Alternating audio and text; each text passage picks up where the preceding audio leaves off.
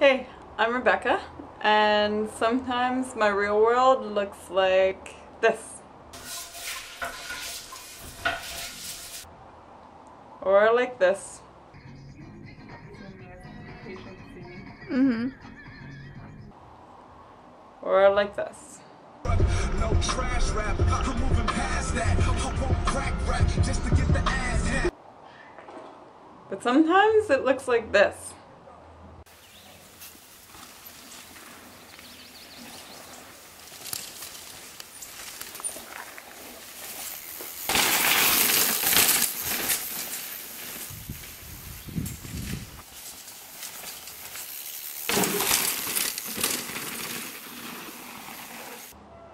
Which I guess is pretty unreal.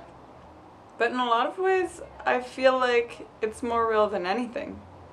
Maybe I've escaped to the unreal world so often that this